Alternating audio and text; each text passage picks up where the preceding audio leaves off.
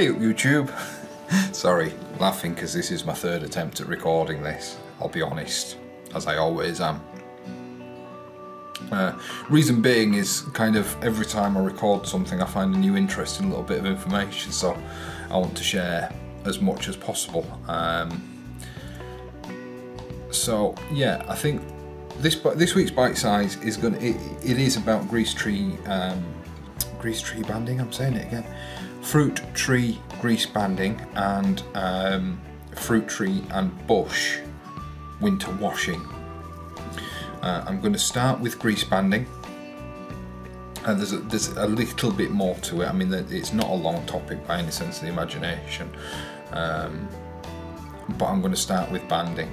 And all what, what fruit tree grease banding is, be it whether you're using a, a, a tub of horticultural grease or using the, the paper wrap, paper backed um, prepared grease bands, all it is is a physical barrier to stop some fruit tree larvae, um, like is it March moth, winter moth, and umber moth. I actually quite like the look of an umber moth, but they're uh, detrimental to fruit trees, unfortunately. Um, it, they, the females for those, the ones that go and lay the eggs, are flightless, so they actually require being able to climb up the tree trunk. And what you're doing by adding on the grease banding is you're essentially all you're doing is blocking their passage up the um, up the tree to where they need to lay their eggs. So, you know, it's kind of a dare I say, humane way of controlling the insects. Um, so I'm just going to talk a little bit about uh, when to apply, how to apply, and what to apply. There's um, something that's a little different. So when to apply? Right now. Um, if not, now's a little too late, but with the weather we've been having here in the UK, with the consistent rain and things like that, any opportunity you get, basically, you want to be getting these grease bands done. You can't do them in wet weather. Trust me, you can't do them in wet weather, especially not if you're using the painted grease. Um, you'll get mucky bands before you get them on, you'll get the grease won't stick properly to the tree, you, will get a whole world of problems. Trust me, wait till a dry day.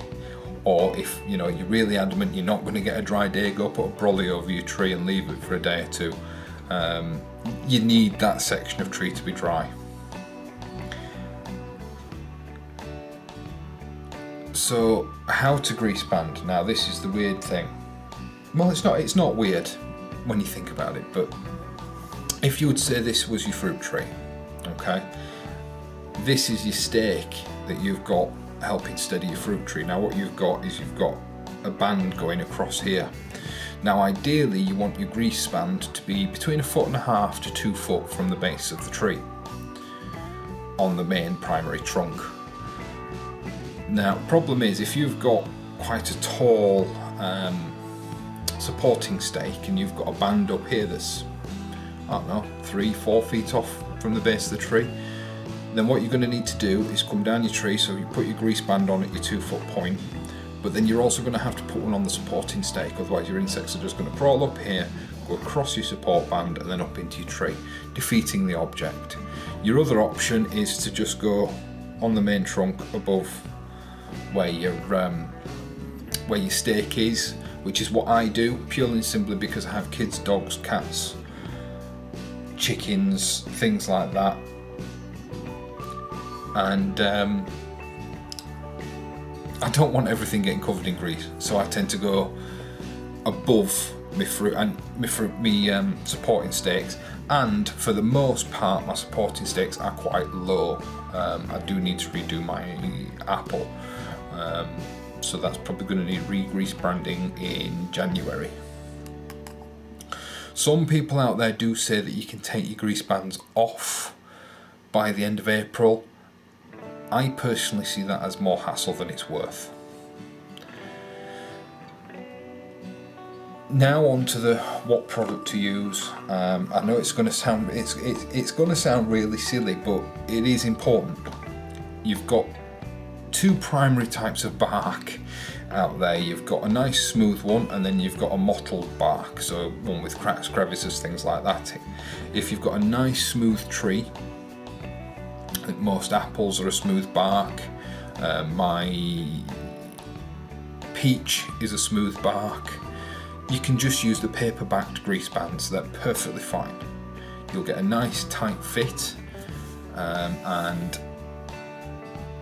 you, know creatures ain't going creeper crawlers ain't going to be able to go up underneath the grease band. Now if you've got a cracked bark like most older cherries do, you need to be putting the grease tree. I've done it again.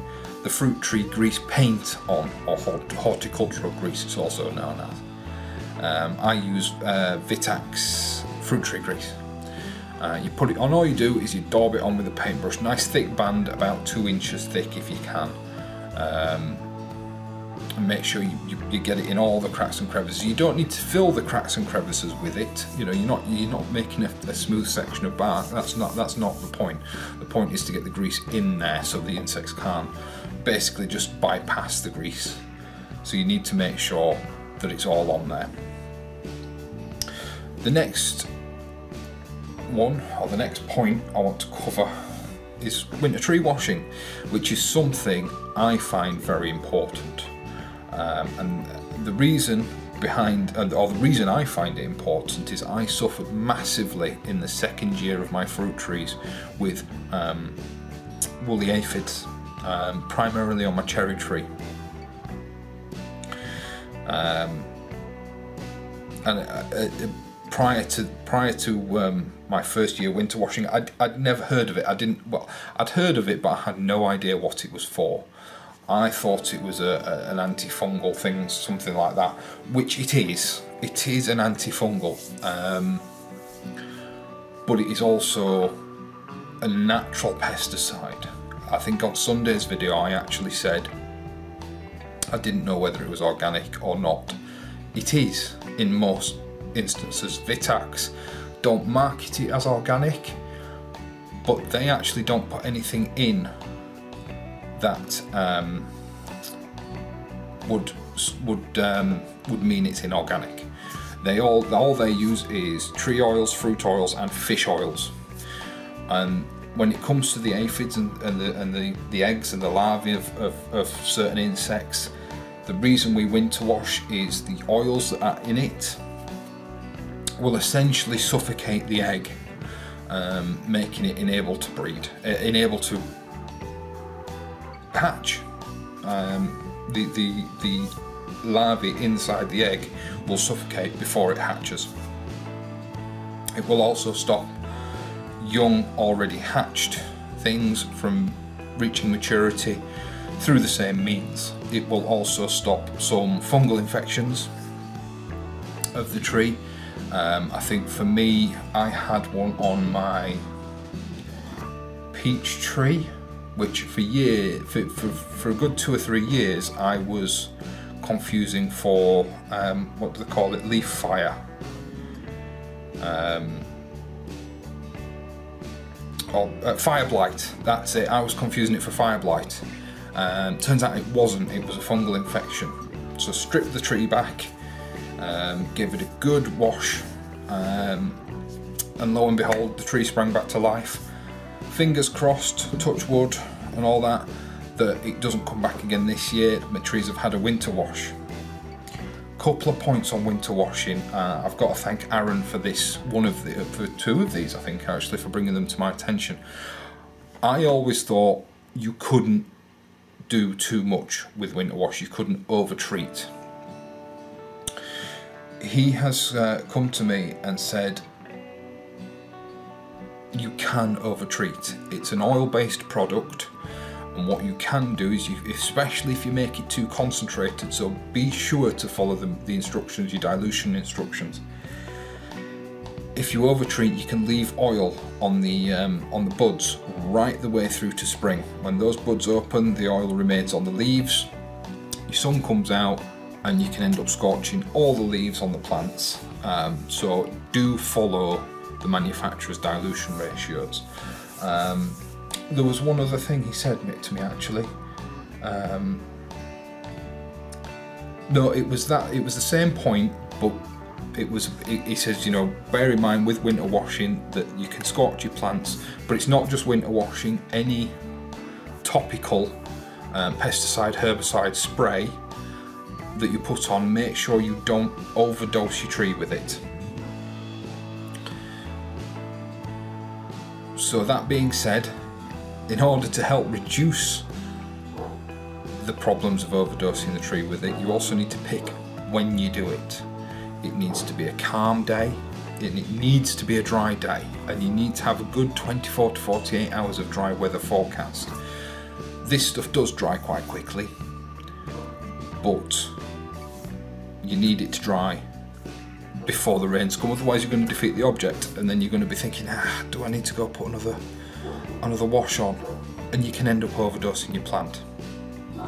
Now bear in mind with your winter tree wash, you can do your trees and your fruit bushes. So your gooseberries, your raspberry canes, your blueberries, uh, brain's gone, completely gone. Red currants, black currants, white currants, things like that. They can all be sprayed with a winter tree wash wait until, if you can, wait until all the leaves have fallen. Not because it'll be detrimental to the leaves, but because the leaves will fall, will, will, will create a physical barrier. You're not going to be able to soak those branches properly. You're not going to get good coverage, and that's what's important. Because in all the little nodules where all your little leaves come out of, there are all the little cracks and crevices behind the. Uh, I'll try. I'll try and show it up here because I'm trying to do it with my fingers, and same with the um, fruit tree grease banding thing. Um, all your little nodules, your little nooks and crannies out where your leaves have grown, that's where those eggs are going to be, that's where those insects are going to be hiding. So you need to, that's where you need your, your spray to be to be penetrating. I'll try and also do sort of a little picture in picture of, uh, of, of the, the, little bit of action cam footage I got when I was doing mine because it, it, came out quite well apart from the, the camera was covered in water but you can see the point the central point of the the video. So we've talked about winter tree washing we've talked about fruit tree grease banding. Fruit tree grease banding? You know what I mean now.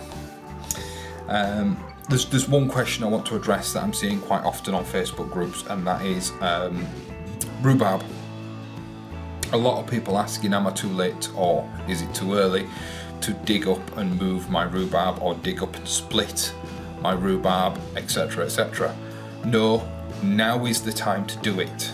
Um, get it up. Bit of an old wives tale but everybody seems to go by it. Dig it up leave it out let it get a frost on it. I've asked Aaron who is a very knowledgeable lad. He doesn't know but it's it's not something he hasn't heard of. he's heard of it, I think. I Might be putting words in his mouth there. Um, but my thinking is, the logical thinking is that um, when you've split your crown, what the frost will do is it will kind of give it a kick up the arse to get going again once once you rebury it. So dig it up, leave it out a couple of nights, then bury it. Now is the time to be doing it on another side note with regards to, to planting things now, onions and garlic, you're not too late. The old way of doing things is plant on the shortest day, harvest on the longest. So the shortest being the 27th of December. So you're not too late. Um, also, if you if you like me, if you're itching a bit to get some seeds in, if you really want to, it is a little bit early. I'd leave it a month but you could, if you've got space and light, put some onion seeds in. Do so at your own risk. I have a light box, so that's why I can start mine off now. Um, windowsill light won't cut it, there's not enough hours of light in the day, you do need supplementary light. But you can if you've got the if you've got the means.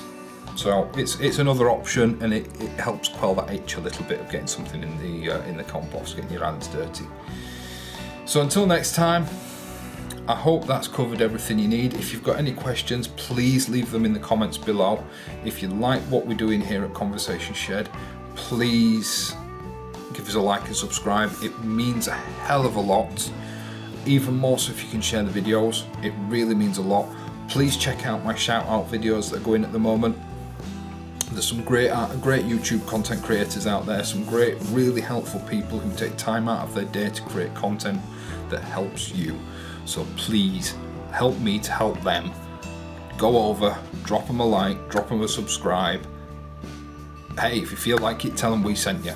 It would mean the world to us to get um, to get a community going again. I've had a lot of YouTubers say to me that the, the community feeling is gone from YouTube. Um, and it's why a lot of the bigger YouTubers, I think, have struggled recently. So let's not let that happen. Let's combat this insular us versus them mentality. Let's try and get everybody together, right? It's Christmas. Share the love. And on that note, Merry Christmas. I hope you're having a good festive period. And I'll see you Sunday. I'll see you later.